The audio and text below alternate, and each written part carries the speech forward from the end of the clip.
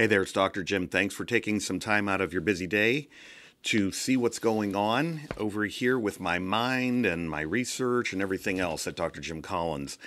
Um, I have a great article, well, as a matter of fact, I've written a ton lately and um, just went into this deep research mode in um, a number, a wide variety of topics that I'm that I'm always interested in researching. So I'm taking a deeper dive, in particular, in the world of CBD. I'm I'm fascinated with. I'm not a I'm not a chemist and I'm not a biologist, but I, I just am very fascinated at how CBD works in the body, how it um, works with uh, receptor sites and amino acids and ion channels and all of these phenomenal things. It's like this chemical bioactive cascade that's going on. So, you know, I've been researching CBD for so long and will continue to do so, but I've also become very interested in three more molecules CBC, CBG, and CBN, and that's the title of my article more promising hemp derived molecules. So let's dive right on in. Although CBD has taken center stage in the medical hemp and the cannabis world for a long time now, there are other very important molecules that are gaining attention of researchers and consumers alike. They are CBC, CBG, and CBN, and each one of these molecules has been found to have positive effects on health and wellness. So I I've, I've read all of these articles and I'm, and I'm highlighting and I'm cross referencing and I'm getting a headache because um, it's very, very complicated stuff. But what I want to bring to you is the simplicity of it. CBC, what is it? Think of it as the central nervous system regenerator. And that's a phenomenal thing. Research has identified some very compelling findings on CBC's ability to both protect and regenerate the nervous system. Some researchers actually call CBC a neurogenesis enhancer, meaning that it, it enables stem cells to sustain their sustainability and maturation in the hippocampus, the spinal cord, the brainstem, and other brain regions responsible for muscle control and movement. Think about movement disorders like Parkinson's. Okay, CBG. What's the bottom line with this molecule? It is being called the mother of all cannabinoids.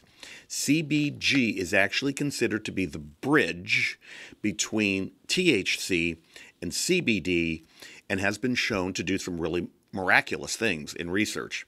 It reduces inflammation and pain, it reduces anxiety and depression, and it helps with sleep problems.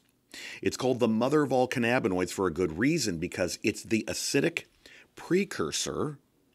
It's CBGA, um, and this uh, acidic precursor is also the, precur- the precursor to THC, CBD, and other cannabinoids. It's the forerunning cannabinoid that becomes other cannabinoids. In other words, it converts into THC, CBD, and other cannabinoids, and has been shown to also be effective for inflammatory bowel diseases, glaucoma, mood disorders, nerve pain. Think about neuropathy. I have a lot of clients with neuropathy, multiple sclerosis, ALS, dementia, psoriasis, and autism. CBN. What is this and what does it do? CBN was actually discovered in 1896. Isn't that crazy? Despite this, it has been downplayed as a less valuable molecule, um, especially compared to THC and CBD, but that's changing. There's a lot of research being done on CBD now, or CBN. CBN is being shown to have great potential for people who have sleep problems. It works by interacting within the endocannabinoid system to induce relaxation, brain function, balance brain function in particular, and promote healthy sleep. It also has anti inflammatory properties, anti convulsive effects, antibacterial effects, and neuroprotectant qualities. So there you have it. My final thoughts. CBD is an important molecule. I'm a big fan of it. I've studied it for years now, wrote a book about it, and I see clients all the time uh, who are benefiting from CBD. CBC, CBG, and CBN are the next important molecules that you will see more in research, in the media, and maybe on the market. Uh, CBN is being used on the market right now, and I think CBG is as well. So I'm Dr. Jim. Keep coming back for more information because I'm going to take deeper dives into the world of academic and medical research to figure out what is going on. Take care.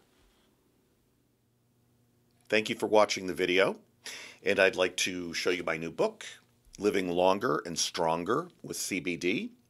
took me about a year and a half to write as I scanned hundreds of articles in prestigious journals, peer reviewed medical studies, examining the effects of CBD for various physical conditions, emotional and mental issues, and neurodegenerative conditions.